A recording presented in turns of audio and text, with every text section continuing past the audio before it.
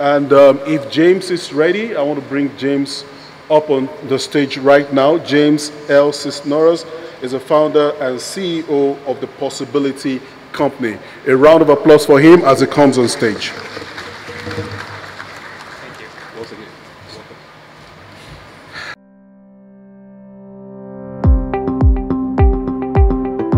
James L. Sisneros, founder and CEO, The Possibility Company. James Sisneros is a serial entrepreneur based in Miami, Florida. From a young age, James saw himself starting a business and entrepreneurship is his passion. He uniquely sees opportunities to align systems and proves to create value for users. He has led Launch Executive Consultants, a boutique recruiting agency, for over two decades. He is also the founder of the Possibility Company, which developed a Web3 ecosystem to reward teenagers for positive social networking behavior and real life participation in extracurricular activities. This creates social and financial inclusion for youth globally. James is a graduate of the University of New Mexico and completed executive education in entrepreneurship at the Wharton School of Business. With a rousing ovation, let's make welcome James L. Sisneros. Hi everyone. So I had the prettiest slides. Lots of colors, big text, images. It would have wowed you. Wasn't expecting to be pulled into that panel discussion, so my Wi-Fi didn't work. So I'm going to wing it. But uh, it's more conversation, conversation about vision. When talking about social and financial inclusion for youth, you have to look at the core problem. And oftentimes, if you're not solving the core problem, you're really not making much of a difference. Further, and I mentioned this before, that it's a vision that really makes a transformative difference. Visions transform when people address problems, there's just that minor improvement year over year. And when you look at social and financial inclusion, you need to look at are we solving the right problem? Is a vision properly aligned? Now, you know, the World Bank don't worry, my presentation didn't have a lot of data, and this conversation won't either. The World Bank, you know, central banks, NGOs, research universities define social and financial inclusion. Frankly, the definition doesn't matter. They have data about social and financial inclusion. Frankly, in my opinion, it doesn't matter. Okay? They have steps to support financial inclusion, and frankly, it doesn't matter. The reason it doesn't matter, in my opinion, they're fundamentally addressing the wrong problem. Now imagine with Nigeria's population, if you were able to bank every unbanked adult tomorrow, what happens next year? Every student who graduates, most of them are unbanked. So I propose that the problem isn't the unbanked adults. And granted, you know, they have less opportunity, they're struggling financially, all of those impacts they're living with day and day. And we don't abandon them, we still work on supporting them.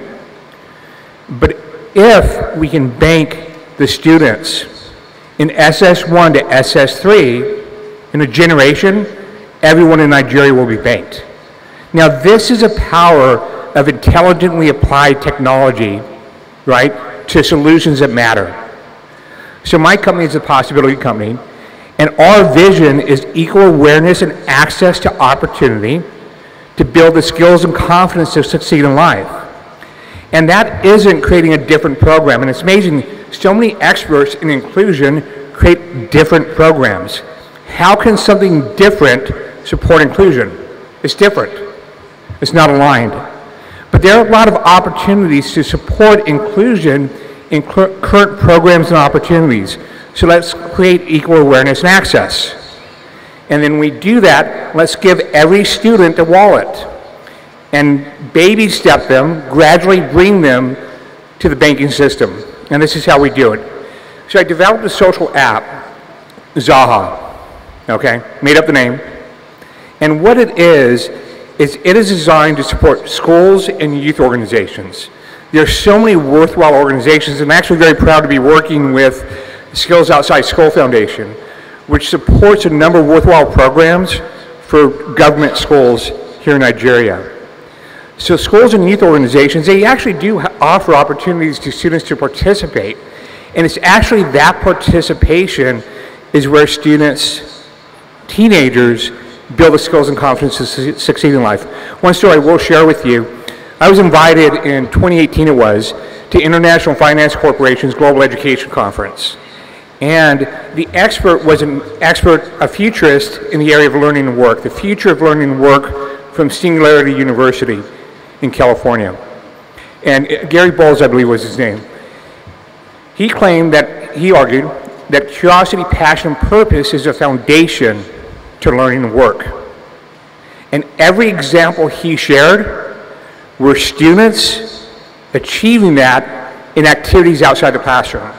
So we have Zaha that can be used by a school or youth organization, and it's a very powerful application. It's a social network. Call it what it is, right? But it's a social network that starts with a powerful invitation, welcome to high school, or welcome to leadership. Sign up. In the US, when we tested that, we had a 90% invitation to registration conversion rate. And when they register, we build them a wallet. Our wallet is off blockchain and on blockchain. You know, technology never is the answer. Technology looking for a problem is a waste. But we have off blockchain, on blockchain. Now imagine every student in SS1, if I have the right partnerships in Nigeria, having a wallet. And then with by partnering, and partnering is critical. You know, I've mentioned I'm partnering with School, Skills Outside School Foundation. By partnering maybe with a local bank, we can issue them a debit card. They're banked. Every SS1 student. That's the game that I'm playing. And then uh, the DG actually told me, and I didn't know about it, eNaira. And there's an opportunity to actually add eNaira to our digital wallet. So our wallet, and I mentioned Zaha and Aha, and I left out a major, major component. We reward students for participation, maybe for things like school attendance, volunteering, leadership, sports. We reward them. And because I wrote the rules on this, right, this new digital asset, technically it is not a currency right now because we're protecting ourselves in the US market. This asset, AHA, rewards students. And I have an independent body of educators, you know, impact investors around the world, they determine the behavior and the value of the reward for all students worldwide. So if I give students in Miami, where I'm from, $5 in value for participating today, I gave that to students in Nigeria. So we actually give them a wallet where they can mint an NFT, where in the future they'll be able to have a debit card, eNaira, right? And then potentially turn that aha into something useful, valuable. So basically what we're doing is we're gamifying positive online social network behavior and positive real life participation, and we can reward every student in Nigeria with that. So that's what we're doing. So see, it's visions that really make a difference and the proper application of technology. If anyone is ever just a pro proponent of technology, run. They need to offer you a solution. They need to offer you a solution. So that's what we're, we're doing. And, and by the way, Zaha also has a lot of value. This social network is free, it's ad free. Okay? We don't track user behavior. We don't need to, we don't need to uh, maximize user. See someone holding up a phone, I'm sorry. We don't need to uh, maximize, uh, manipulate users to get them online. We actually don't need our students to be online in order for our model and our value creation to work. Then in the future, we can give teachers a wallet that was really requested here in Nigeria. We'll be able to reward them for the extra effort they take on supporting students after school. And after school for teenagers is where they develop the skills and confidence to su succeed in life. So that's my big vision. Uh, we're actually hoping to launch tomorrow or Friday here in Nigeria. This was kind of like, if this was a week later or two weeks later, it would have been perfect. We were going to launch next week in the US first. But we're actually launching while I'm here with my partner tomorrow, Friday. So I know it was pretty short, pretty brief. I hope the lack of slides didn't, you know, disappoint you all. But uh, that's the game that I'm playing. If you're interested in partnering, uh, please visit with me. If you know schools or youth organizations who would benefit from this, again, we're strictly targeting SS1 through SS3 right now. We cannot go younger. Okay? Thank you.